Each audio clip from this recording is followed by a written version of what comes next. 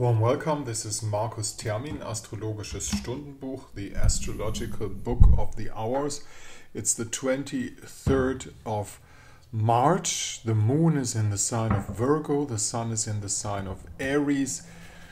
Uh, to show it right away, this is the chart of the recent happening terrorist attacks in Moscow. And as you can see, um, Chiron and Mercury and the North Node in the sign of Aries is on an axis. Um, the business model worldwide of um, terrorist attacks, such as um, and also wars and anything like that, isn't really understandable for us regular folks because uh, they are mainly completely senseless. You don't actually find out what is it good for, what is the aims, who's doing it by, um, what are they they thinking, what do they promise themselves by doing something like that. It seems to be completely senseless and illogical in in general, and at the same time. Uh, massive amounts of people are dying in Gaza, they are dying in Ukraine, they are dying everywhere but those terrorist attacks they pop out just like a mushroom over overnight um, and um, oh, shouldn't be unfair to mushrooms. Those are vital peaceful um, peaceful individuals. But uh, this is actually not understandable for us you know. There's something behind the scenes that we don't understand a revenge for something in between services and things like that. You know, that's it. But we can see an astrological signature, which is, as I showed you, of course, Chiron, Mercury, and the North Node in Aries, uh, which is the, the, the, the ugly side of this aspect. It could have a positive side just as well. Mm. Looking at the daily situation in general, you can see Moon and Lilith are having um, a combination down there in Virgo. So, so the, the, the, the clean and efficient things are not that clean in general.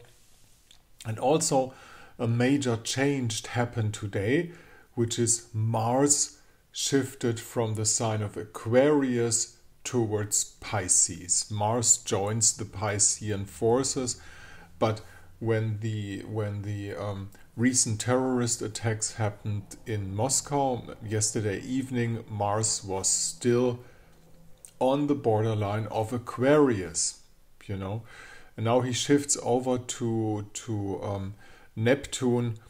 Uh, we can't call any ISIS warrior spiritual warrior though, you know, it's a it's a misuse of an antique name. It's a label. It's um, it's an obvious um, foundation of some players we don't even know the names of and things like that. You know, but um, to to put the general situation of astrology um, into a unique happening just like that is not hundred percent accurate because lots of things are happening around the world all the time.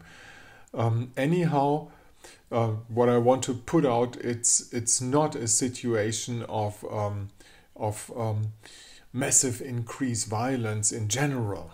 You know that's not what the situation says. Um, it says from the daily energy, yes, there is an upbuild of energy, which is the moon moving towards its full moon position uh, but we, besides Mercury, Chiron, and North Node in Aries, uh, weighted up by the Sun, of course, um, that's not a special situation, but it's a regular situation, and um, better we we um, balance this out to the positive side. What else can we do?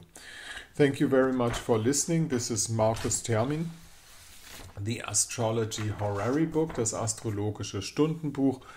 That's just a short insight into the energy of the day. We are in uprising pre full moon energy, just to uh, put the final sentence on, on that. And with Virgo moon, it's not a bad situation to get some things regulated and done, even if you need them in your private life.